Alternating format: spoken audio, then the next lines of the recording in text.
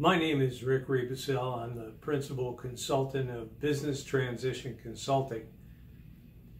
Wanted to talk to you today about business disagreements.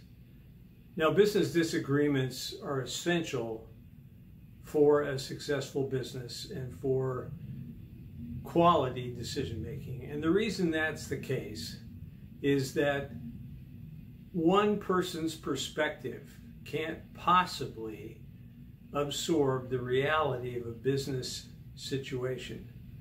The real reality of a business is made up of the perspectives of its customers, its employees, the executives, and the owners, all involved in the business.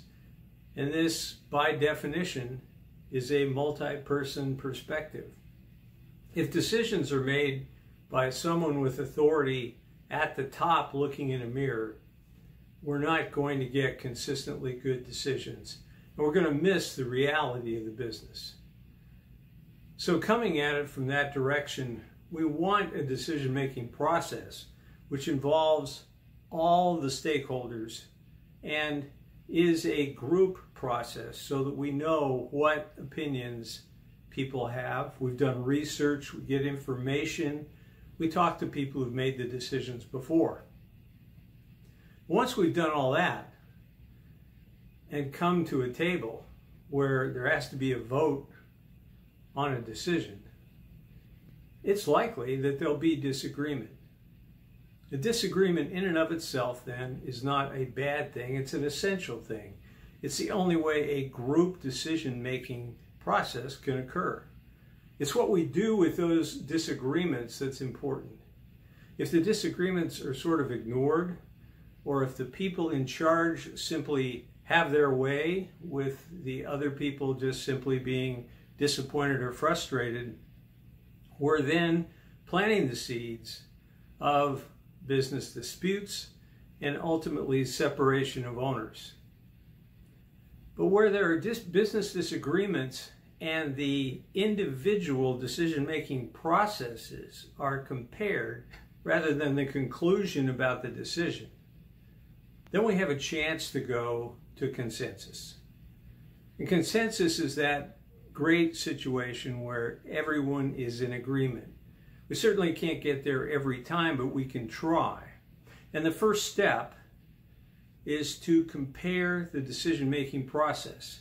And the first question is what do we all know? Now, if some people are making a decision based on information that other people don't have, we're going to get differences. And those differences are actually the easiest to resolve. We just make sure that everyone knows the same thing. Now, those of us of the Machiavellian school at various times might say, well, maybe it's a good thing not to tell everything or to hold something back.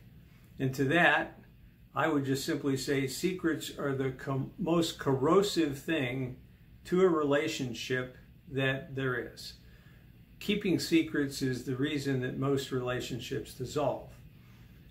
For that reason, transparency is what makes relationships work, and people have to make decisions based on the same information.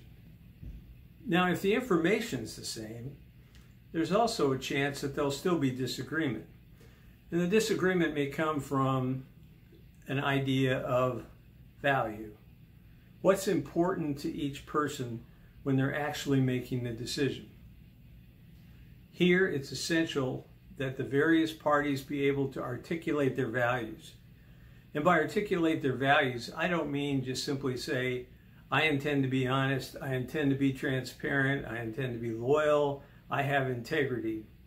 Those are, are nice statements. They indicate good intentions, but they really don't communicate very well.